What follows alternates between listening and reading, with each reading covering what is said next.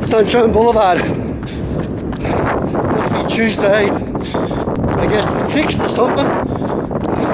September 2020. A bit later this morning. 10 o'clock run.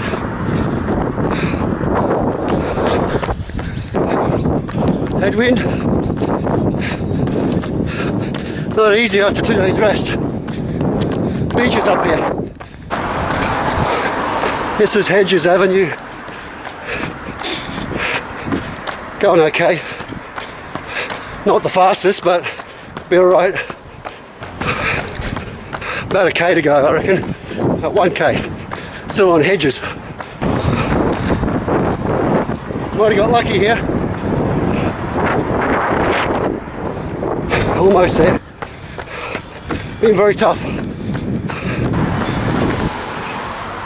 Was uh, 7.36k. 7.36k.